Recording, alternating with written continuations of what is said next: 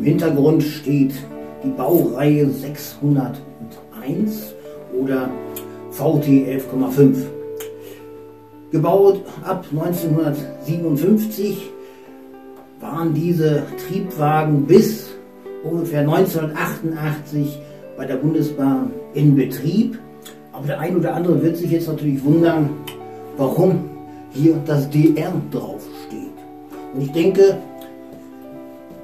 nicht jeder, der sich also intensiv mit dieser Materie beschäftigt wird, nun gleich wissen, ach ja, das war der Max Liebermann. Genau, der Max Liebermann gefangen für die damals Demokratische Republik 1990 in der Wendezeit.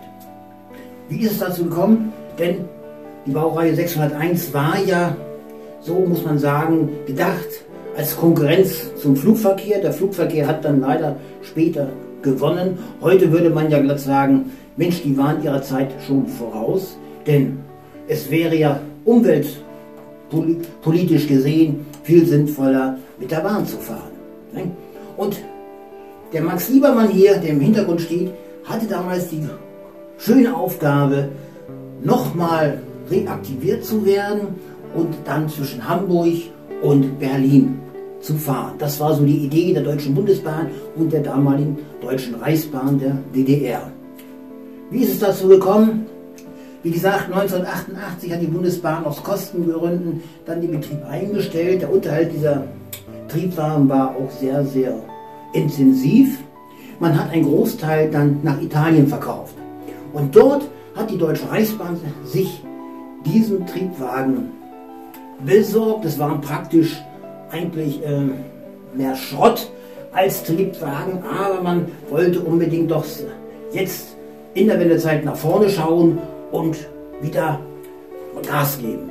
Ja, innerhalb von zwei Stunden haben dann die Techniker der Deutschen Reichsbahn festgestellt, dass allein 150 Mängel der Triebwagen aufgewiesen hat und man hatte dann schon ein Problem, ihn dann in die DDR zu überführen.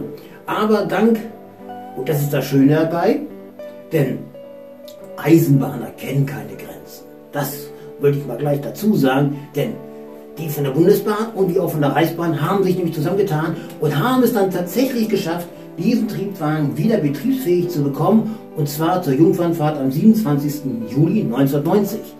Leider hat das Intermezzo nur zwei Monate gedauert, denn Ende September war es dann schon wieder vorbei.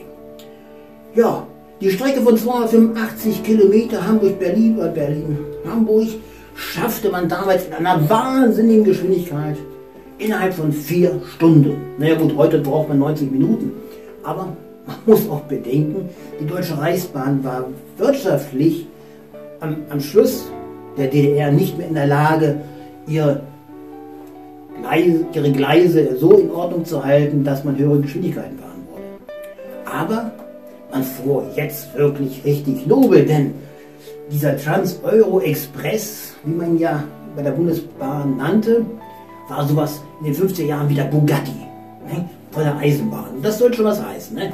Das waren besonders toll gepolsterte Sitze für den Reisegast, der jetzt nicht gerne rückwärts fuhr. Der konnte dann also seinen Sitz drehen in Fahrtrichtung. Das war also absolut irre. Das konnte man sich vorher gar nicht vorstellen.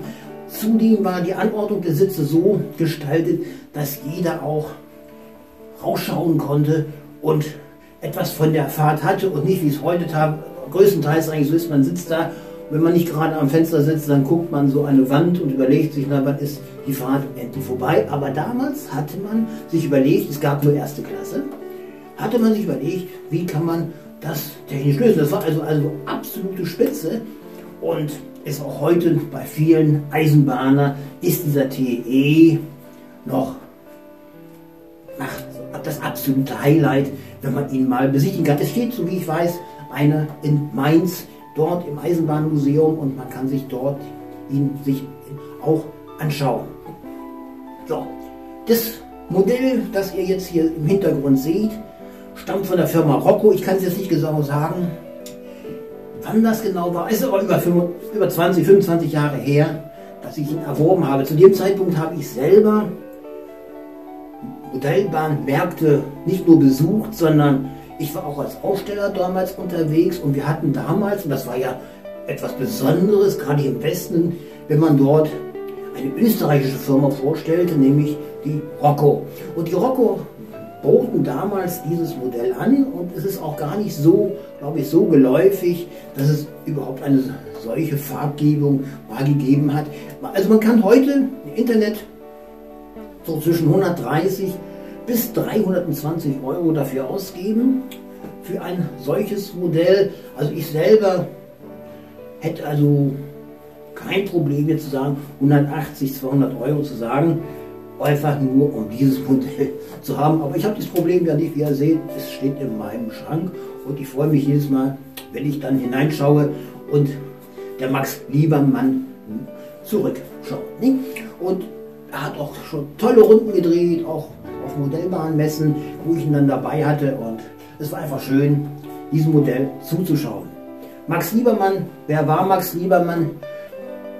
Es war ein Maler, so im 19. Jahrhundert, der so ein bisschen umstritten war, weil er nicht nur die reichen Menschen seiner Zeit malte, sondern er malte tatsächlich Menschen bei der Arbeit, die Spinnerinnen, die Baumwollpflückerinnen oder wie auch immer. Also ich weiß zum Beispiel ein Bild, das sind, das sind dann die Damen, das ist in Frankreich, wo er dann die Kartoffelernte zeigt und die Frauen also wirklich schwerste Arbeit verrichteten und das entsprechend an die Künstler unter euch werden das natürlich dann besser erklären können, wie das nun zusammenhängt mit einer Malerei. Und deswegen denke ich, ist der Name Max Liebermann ist also okay. Also es gibt keinen Grund jetzt zu sagen, ach, das ist ein alter Funktionär. Nee, es ist ein wirklich ein alter Maler. Und der kannte sogar Rembrandt und sowas. Und also, also ist schon kein Problem, dass man den so, so genannt hat. Fand ich schon okay. Ja. Ich hoffe, das Modell gefällt euch. Vielleicht ist es sogar eine Anregung für die, die Modellbahnen sammeln. Ich möchte vielleicht so in lockerer Folge hin und wieder mal wieder ein paar Modelle vorstellen aus meinem Schrank. Und das sind natürlich viele Modelle auch aus der ehemaligen DDR, wie man so sagen will. Mich so von Pico, Gitzold, Sachsen-Modelle.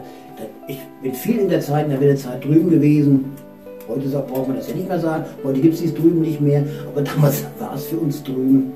Und da konnte ich einfach nicht sagen, Nein sagen, wenn dann dort auf den Märkten dann solche Modelle waren. Denn die konnten auch ganz, ganz tolle Modelle herstellen und waren auch immer einfallsreich, muss ich sagen, wenn es dann nicht so vielleicht wirtschaftlich möglich war, aber sie haben es immer wieder geschafft, ganz, ganz tolle Modelle auf den Markt zu bringen. Aber in diesem Fall waren wir ja Barocco aus Österreich und hier gibt es auch noch sehr, sehr viele schöne Modelle. Auch davon habe ich noch etliche in meinem Schrank. Ja, danke euch fürs Zuschauen. Vielleicht sehen wir uns mal wieder aus Gerds Modellbahnstube. Bis dann, ciao.